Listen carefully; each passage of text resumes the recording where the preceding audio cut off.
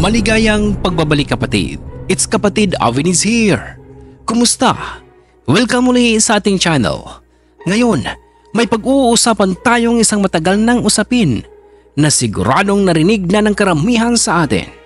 Ang Marcos Gold o ang sinasabing kayamanang ginto ng pamilya Marcos. Usapang kayamanan, conspiracy theories at ang matagal ng tanong, totoo ba talaga ito?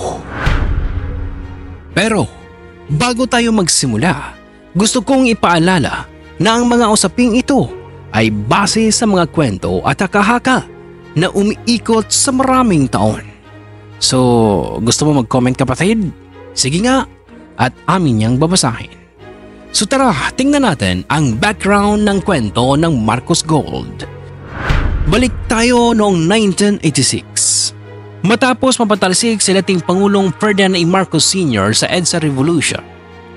Isa sa mga naging tanong noon ay saan napunta ang kayamanang sinasabing nakalap ng pamilya Marcos sa mga taon ng kanilang pamumuno. Oh boy!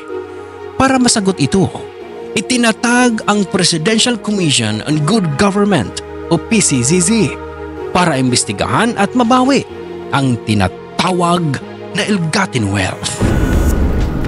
Ilang taon na ang nakalipas at hanggang ngayon, patuloy pa rin ang mga paghabol ng PCCZ sa mga ari-arian na sinasabing pagmamayari ng pamilyang Marcos. Mula sa mga mamahaling painting, mga real estate properties, alahas at mga foreign bank accounts, lahat ng ito ay narecover na at nakadokumentong bahagi ng ill-gotten wealth.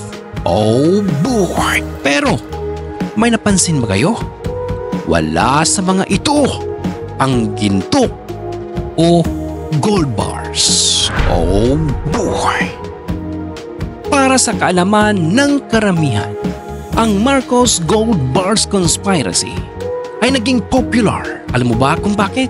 Dahil nagbibigay ito ng kwento ng pag-asa, kayamanan at pangarap ng mga Pilipino na muling mapalago ang bansa sa pamamagitan ng yaman na ito.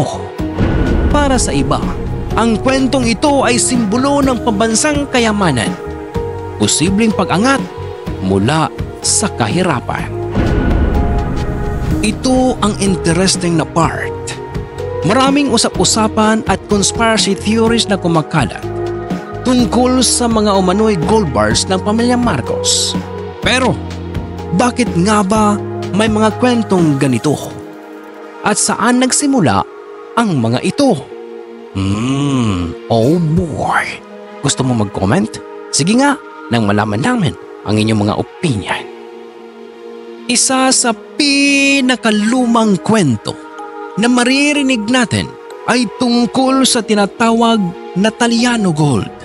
Ayon sa teoryang ito, sinasabing may isang sinaunang kayamanan na kilala bilang Taliano Gold na nasa kamay ng pamilya Marcos.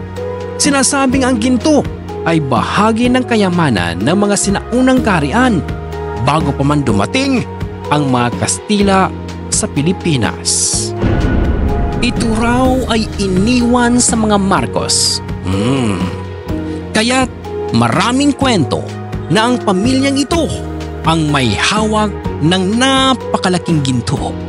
Pero ito ang twist mga kapatid. Hanggang ngayon, walang pisikal na ebidensya o opisyal na dokumentong nagpapakita na totoo nga ito. Maraming istorya nang nagsasabing ang Taliano Gold ay bahagi lamang ng urban legend o alamat. Kung tutuusin, kung totoo man ito, sana may mga dokumento o pisikal na ebidensya na magpapatunay dito. Kaya hanggang ngayon, mananatiling kwento na lamang ang Taliano Gold. Ngayon, oh boy, bukod sa Taliano Gold, may iba pang mga kwento na nagpapakita raw ng mga deposito ng ginto sa ibang bansa.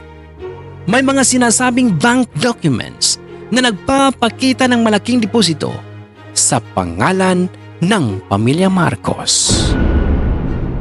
Pero mga kapatid, maraming eksperto at opisyal ang nagsabi na hindi validated ang karamihan sa mga dokumentong ito.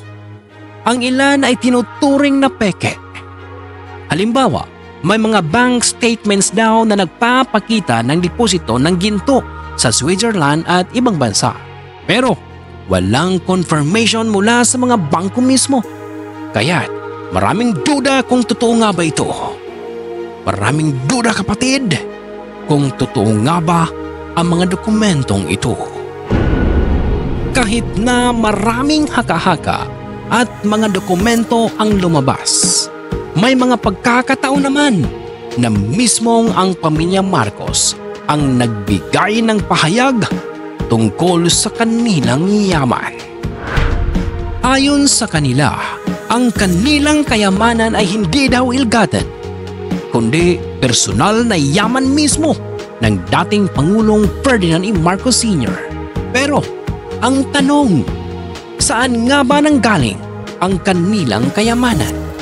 At bakit walang malinaw na ebidensya ng mga gold bars na sinasabi? Marami pang ibang teorya tungkol sa Marcos Gold pero sa ngayon, walang matibay na ebidensya para patunayan na may mga gold bars na hawak o nakadeposito sa ibang bansa. Sa mga na-recover na ill-gotten wealth ng PCZZ, wala ni isang ginto o gold bars na kasama. Ang lahat ng kanilang na-recover ay nasa anyo ng cash, ari-arian at mga bank accounts. Siguro kaya maraming naniniwala ay dahil sa likas na interest natin sa mga kwento ng kayamanan at conspiracy theories. Pero sana tandaan natin na ang mga ito ay kwento lamang hanggat walang konkretong ebidensya. Evidence is the main sanctions by the rules of court. At dyan nagtatapos ang ating masusing pagtalakay sa controversial na isyo ng Marcos Gold. Hmm? Dyan nagtatapos kapatid. Wala na ha, wala nang Marcos Gold Gold dyan. Kung natuto kayo at nag-enjoy, huwag kalimutang mag-like at mag-subscribe at i-share ang video na ito. Mahalaga na maging mapanuri tayo at hanapin ang totoo sa likod ng mga kwento. Maraming salamat sa panunood.